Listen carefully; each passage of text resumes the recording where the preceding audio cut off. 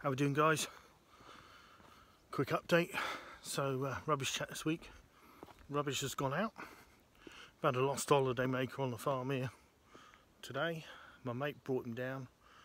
My mate's from a farm way over there. He um the had come down with his wife. He'd gone back up into the town himself then driven back to the village and got completely lost. So he actually wanted to go over there.